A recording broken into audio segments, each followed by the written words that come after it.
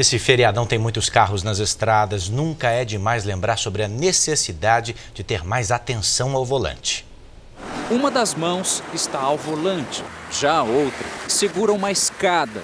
É isso mesmo, uma escada. E o carro segue pela Via Dutra lotado. Nesse aí também não há mais espaço para nada. No banco de trás, acredite, o passageiro vai espremido entre as bagagens que estão soltas. Uma freada coloca tudo em risco. No Rodoanel de São Paulo, o caminhão segue viagem em meio ao tráfego pesado. E mesmo assim, o motorista dá um jeito de relaxar. O pé esquerdo fica do lado de fora, mas dá para ficar ainda mais perigoso. A mão que deveria estar no volante faz companhia ao pé. E isso com o veículo a mais de 100 km por hora.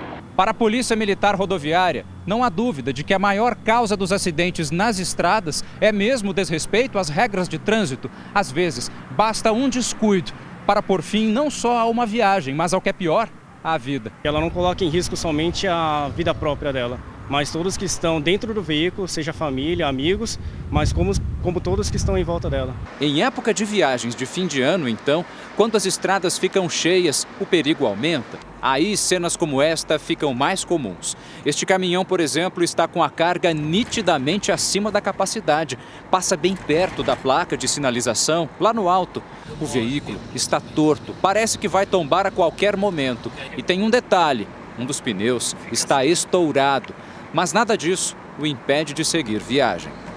E mesmo quem está com o veículo em ordem, parece não ter a cabeça em ordem também.